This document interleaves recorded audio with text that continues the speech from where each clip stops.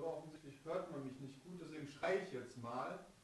Ähm, Dr. Wake Up äh, fragt, äh, YouTube-Christen sagen, dass Christen nicht wählen gehen sollen, weil sie sonst keine Christen seien.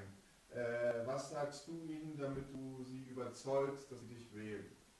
Also ich halte es für völlig abwegig, einem Christen vorzuschreiben, was er zu tun und zu lassen hat. Ich bin selbst Christ, aber ich äh, bin weit davon entfernt, an, auf andere zu zeigen und zu sagen, das darfst du nicht nach christlichem Glauben, sondern ähm, ja, wer von uns ohne Sünde ist, der werfe den ersten Stein. Diesen Satz gibt es auch und das ist immer sehr wichtig ähm, in diesem Zusammenhang zu sagen. Es liegt also mir fern, irgendjemanden zu verurteilen. Jeder muss wissen, was er tut.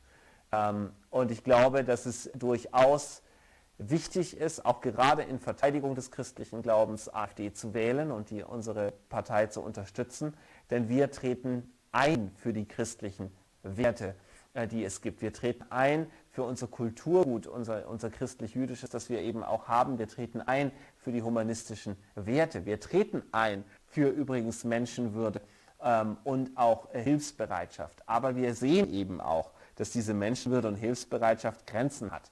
Und es hat nichts mehr mit Hilfsbereitschaft zu tun, wenn Leute bewusst aufs Mittelmeer schippern, um dann ein äh, Luxustaxi ähm, per Schlepperdienst sozusagen nach Europa zu bekommen. Das hat nichts mit Hilfeleistung, das hat nichts mit Barmherzigkeit zu tun, ähm, sondern das ist ganz einfach nur eine Aus, ein Ausnutzen ähm, einer Lage und das ist auch von der anderen Seite her ein deutlicher Bruch äh, des Gebotes, nämlich, äh, dass man kein falsches Zeugnis ablegen solle äh, wider seinem Nächsten.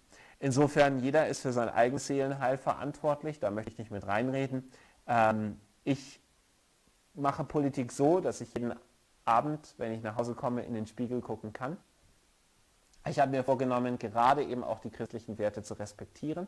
Das bedeutet auch, dass ich nicht lüge. Ähm, das bedeutet auch, dass ich manchmal anderen den Vortritt lasse, auch wenn es mir äh, schwerfällt. Das betrifft viele Dinge, die man an verschiedenen Stellen nachlesen kann. Und ähm, das ermöglicht auch mir, nach wie vor vor Gott zu treten mit einem recht reinen Gewissen. Man bleibt nie ganz sauber in der Politik, ich glaube, das ist gar nicht möglich, aber man bleibt zumindest in dem Rahmen sauber, wo man sagen kann, das kann ich vertreten und das ist okay. Ähm, und das ist zumindest mein persönlicher Ansatz und ich weiß, dass es der, der Ansatz von vielen, vielen, vielen Menschen bei uns ähm, in der Fraktion ist. Und deswegen gerade als, als äh, gläubiger Christ kann ich, glaube ich, äh, durchaus sagen, dass hier sehr viele Menschen bei uns in der Partei sind und gerade in der Fraktion sind, die diese Werte auch nachhaltiger und glaubwürdiger vertreten, ähm, als das Politiker der anderen Parteien tun.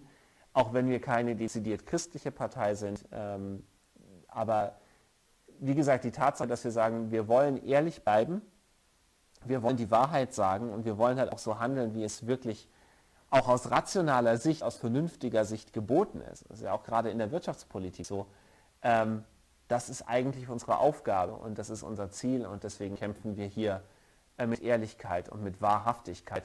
Und ähm, wer im Internet sagt, Christen sollten das und das tun oder das und das nicht tun, ehrlich gesagt, der hat, glaube ich, das Christentum nicht verstanden. Schöne Antwort.